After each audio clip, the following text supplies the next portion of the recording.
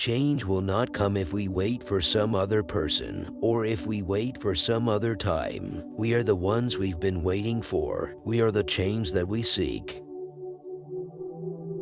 The best way to not feel hopeless is to get up and do something. Don't wait for good things to happen to you. If you go out and make some good things happen, you will fill the world with hope. You will fill yourself with hope.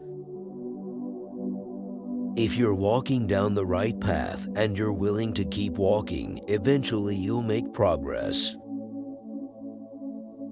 Focusing your life solely on making a buck shows a poverty of ambition. It asks too little of yourself, and it will leave you unfulfilled. I have always believed that hope is that stubborn thing inside us that insists, despite all the evidence to the contrary, that something better awaits us so long as we have the courage to keep reaching, to keep working, to keep fighting. You might be locked in a world not of your own making, her eyes said, but you still have a claim on how it is shaped. You still have responsibilities. It's only when you hitch your wagon to something larger than yourself that you realize your true potential. To those Americans whose support I have yet to earn, I may not have won your vote tonight, but I hear your voices. I need your help, and I will be your president, too. At the moment that we persuade a child, any child, to cross that threshold, that magic threshold into a library, we change their lives forever for the better.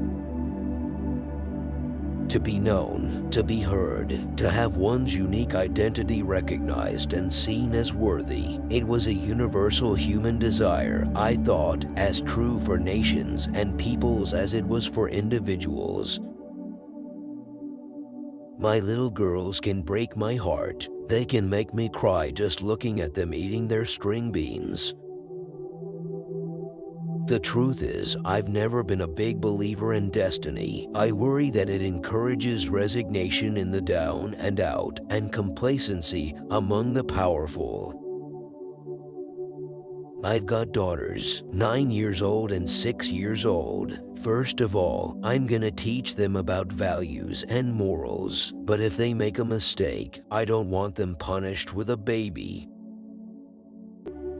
But you don't choose the time. The time chooses you. Either you seize what may turn out to be the only chance you have, or you decide you're willing to live with the knowledge that the chance has passed you by.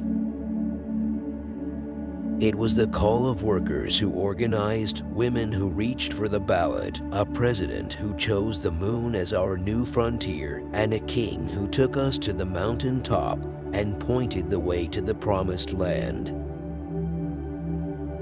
There's nobody to guide through the process of becoming a man, to explain to them the meaning of manhood, and that's a recipe for disaster.